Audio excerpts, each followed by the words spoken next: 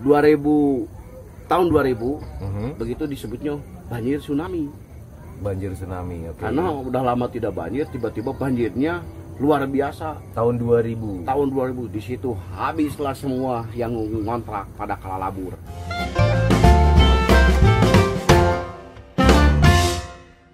kalau dulu itu benar-benar sungai diprioritaskan kedalaman dulu kan pengerukan ini bang bukan cuma pakai beko saja Hmm.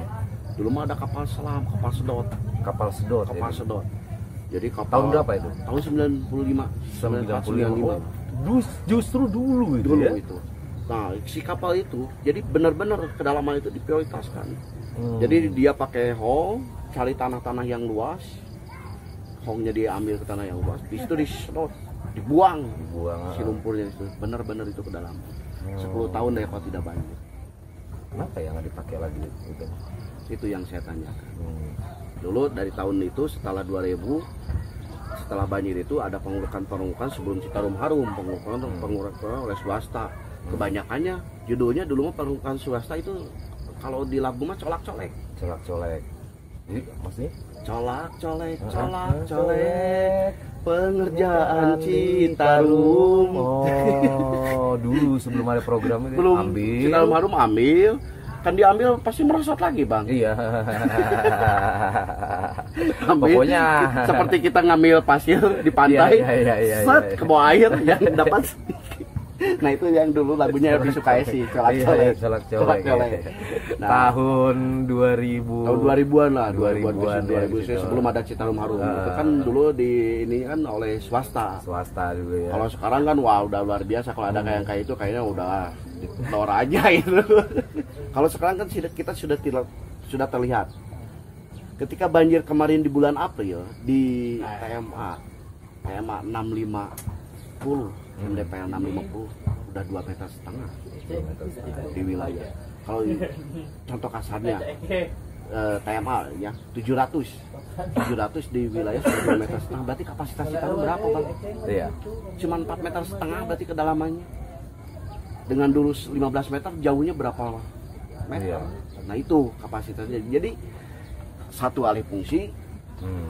yang kedua reboisasi kan tidak menampung debit Iya. air dari mana-mana alih fungsi lahan kan sekarang beton Iya. jadi semua masuk ke Citarum sedangkan Citarumnya tidak menampung seperti kita mau minum ke gelas Oh, oh, diminum dulu Kayak begitu.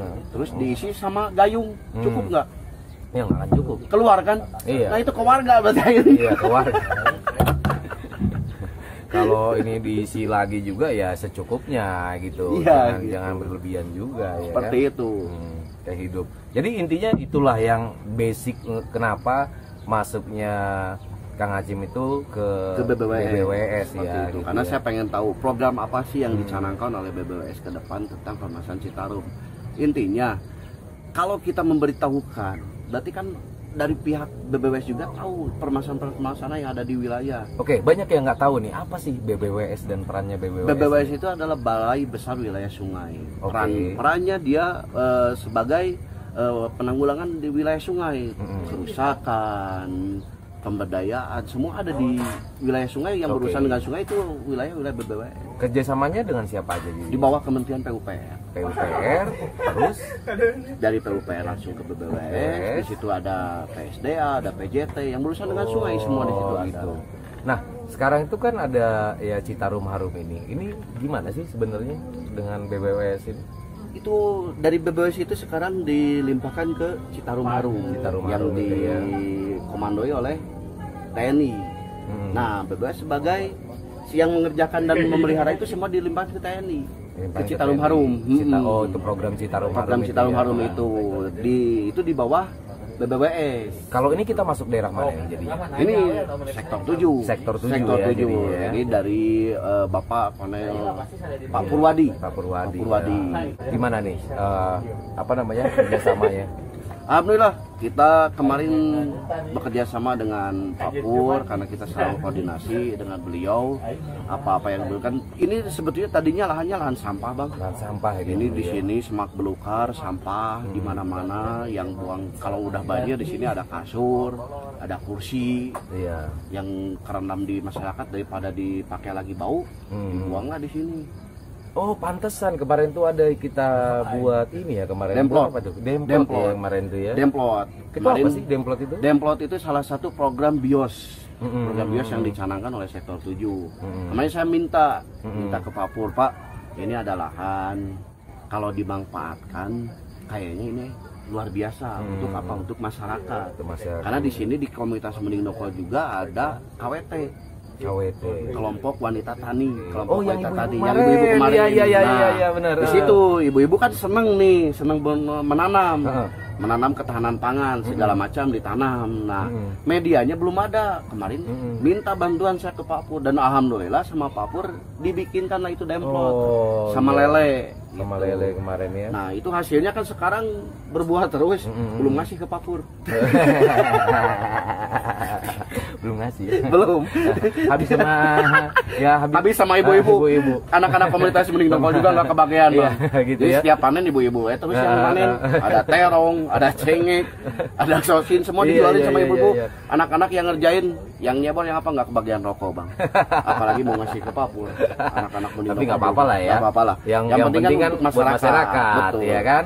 Masyarakatnya juga mau masyarakat sungai atau masyarakat Iya, apa, yang penting kan semua. terbagi. Kan Terbagi. tujuannya demplot untuk itu kan Betul. sebenarnya. Kemarin luar biasa itu bios Hmm. program bios itu sampai saya karena saya monitoring di wilayah sungai dari Hmm. kantor saya monitoring terus sektor 7 itu luar biasa. Hmm. Ada kebun-kebun yang ditanam oleh masyarakat dan penghasilan juga untuk masyarakat sendiri. Hmm. Kadang saya suka berpikir, ini uangnya dari mana? Tapi ketika masyarakat mau berbuat, semua mendukung gitu. Iya, Toh penghasilannya buat masyarakat juga. Nah, Iya. Dari situ saya berpikir, oh ini salah satu pengembalian lagi eh, Citarum yang dulu itu sekarang sudah mulai terbukti. Iya. Jadi ketika masyarakat mau membenahi lingkungan di bantaran Citarum, otomatis itu menjadi penghasilan buat mereka. Hmm. Jadi tidak ada lagi ke depannya ketika masyarakat sudah mempunyai seperti itu, tidak ada lagi masyarakat yang buang sampah sembarangan, kepar. Hmm, hmm, hmm. Sayang membuang mau dipakai micin runtah, lahan teh kalau dimanfaatkan menjadi penghasilan. Kalau dipakai micin runtah, Nggak mah bakal banjir. Oh iya, ada satu nih yang saya lihat ya, kayaknya kita perlu nih buat ide yang dari Mang Acim kemarin tuh. Hmm, Kita buat museum banjir ya. museum banjir. Museum banjir. Itu Itu rencana cita-cita, cita-cita cita yang saya. yang nantinya bakal apa aja yang Dan kalau itu program berjalan, Hmm. kalau itu program berjalan, jadi kita punya kenangan teh jangan, jangan punya kenangan, uh kangen banjir deh, ulah ulah banjir. Oh. Geus banjir menepi nepi ayeuna mah geus ti leutik. Geus ti leutik diajarin banjir. Tapi yang bikin kenangan teh ketika nanti ada orang-orang datang ke Saung Muning Dongkol bahwa di daerah sini tuh dulu pernah banjir. Hmm. Salah satu buktinya ini ada museum banjir. museum banjir. Ada apa saja di museum banjir? Ada cangcut.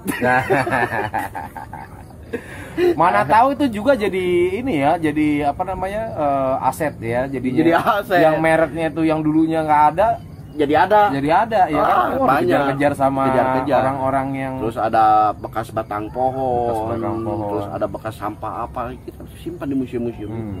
Jadi kalau banjir itu membawa semua sampah yang ada di wilayah Hmm. dan di sini numpuknya. Nah inilah museumnya, Ah. gitu, seperti Tapi itu. mungkin ada ada kemungkinan juga nantinya gini. Kalau mencari barang hilang banjir, cari Ada di sini. Emang kita penampungan. kita cari kursi, cari dompet, cari ini gitu ya. Jadi carilah ke Muning Dongkol gitu Kalau ya. dulu, dulu pernah bang kejadian gini eh, tahun Oh. 2000 dulu. Dulu teh yang banyak hilang itu nah, waktu tahun 2000 karena banjirnya itu banjir paling besar, Paling besar. disebut banjir tsunami. Itu mah di jalan ada tabung gas, Hmm. ada dompet, Tabung gas aja bisa. hanyut karena dulu dikontrakan mungkin si orangnya kerja, Hmm. dia nggak per- percaya kalau bakal banjir besar. Otomatis pintunya pada jebol, barang-barangnya semua ke bawah. Sampai bebek aja di jalan pek pek pek pek, pek, saya tangkap saya kunci. banyak dulu mah Kalau sekarang mah yang lewatnya bukan dompet bukan tabungan bukan bebek. Runtah. Jadi apa nih ha- harapannya ke depan nih buat masyarakat lah?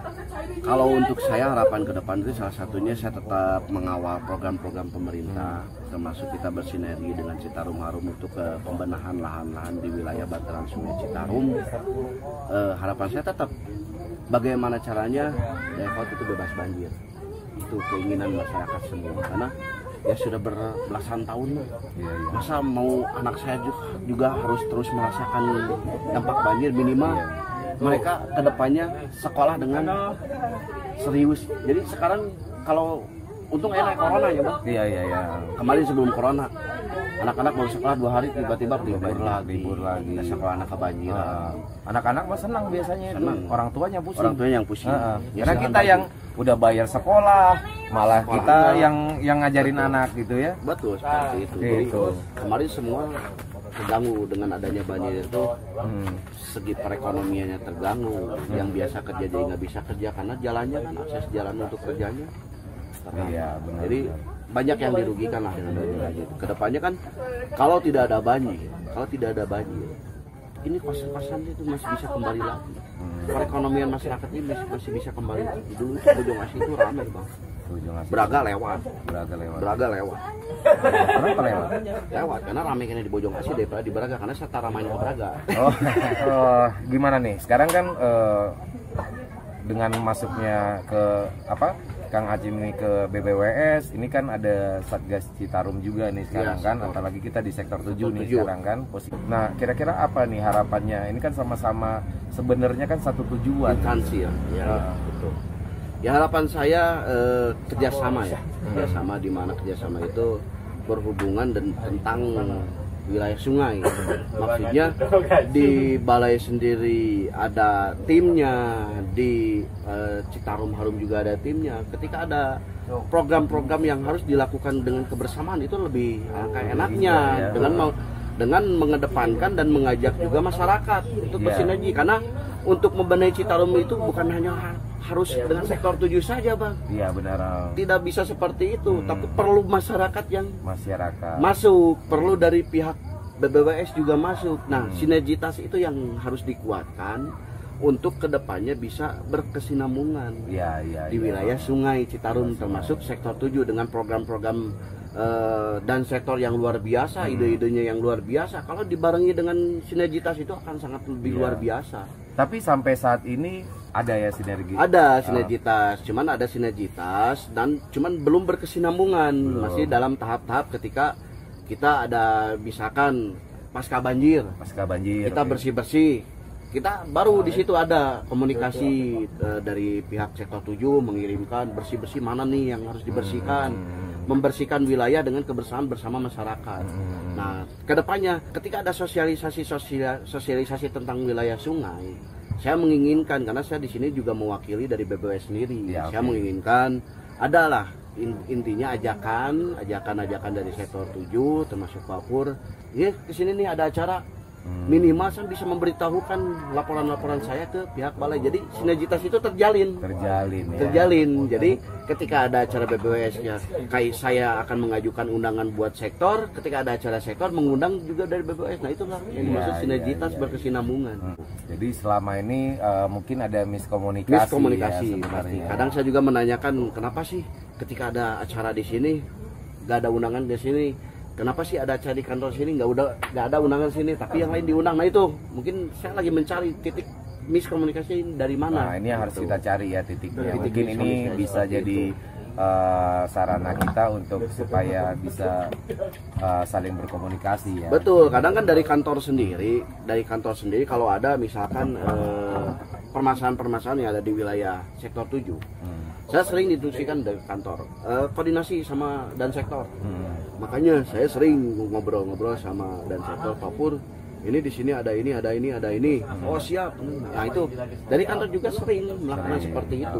Cuman untuk hal-hal dalam acara-acara acara seperti itu kadang suka ada miss Ada mi. ada mis Ah. ketika saya dulu pernah ada acara misalkan eh, Citarum Harum Hmm. di wilayah Rancamanyar waktu itu ketika saya datang anak-anak yang datang ke sana terus kita bikin laporan ke kantor kantor nanyain Hmm. kenapa sih nggak ada undangan buat BBWS nah Hmm. mis seperti itu Ya, Miss seperti itu. seperti itu Eh, dari Miss itu juga kemungkinan eh, karena ada ini ya saat ini ya apa setahun ini kan adanya corona ini mungkin. kayaknya seperti itu karena Hmm. kemarin kan eh, adanya di aturan-aturan Iya, aturan-aturan, kerumunan seperti dan acara-acara juga Hmm. sekarang mau tidak terlalu seperti Tidak sebelumnya dulu, kalau dulu mah kan sebelumnya ke- ketika kemarin penanamannya waktu itu Iya, eh, kan itu jelas, Jelas, itu ada BPWS ada kita Harum itu ada. jelas kalau acara-acara iya. penting.